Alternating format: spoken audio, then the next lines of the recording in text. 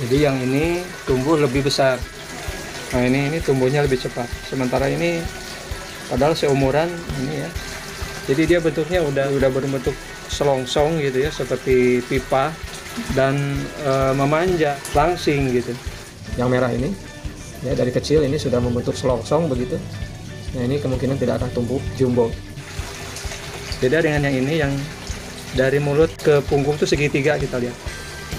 Bagian punggungnya itu harus lebar, bagian badannya harus lebar dan seolah-olah membentuk segitiga ya ke bagian mulut atau ke bagian ekor itu. Nah teman-teman bisa membedakan ya. Ini yang ini uh, tumbuh terus. Tuh panjangnya juga beda. Dan ikan kohaku ini adalah buktinya ya. Jadi kohaku ini sejak kecil sudah berbentuk selongsong langsing. Ini teman-temannya sudah 50 cm, nah dia masih 35 cm.